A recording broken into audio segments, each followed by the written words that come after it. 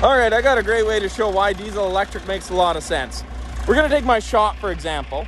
Yeah, it's just two 53 foot trailers, but honestly, for $500 each, that's not a bad way to go.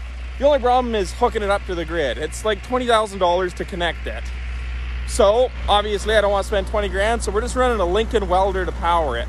That Lincoln welder burns about 80 bucks worth of fuel per day, which is obviously an expensive way to run a shop. So here's what we did. So we bring our light tower trailers right in the shop. That's where we do all the wiring and put a little wood stove in it, connected it with some holes into the other trailer to work as a power. But this is the cool part of the hybrid system where we save a ton of money that Eric designed this system. I'll let him explain it. This is my business partner, a little bit of Eric on TikTok. Yeah, why use the utility when you can actually just use a generator and batteries? So we actually have a huge battery bank below us, 10 kilowatt hours worth of storage, and it's hooked up to a 3 kilowatt inverter.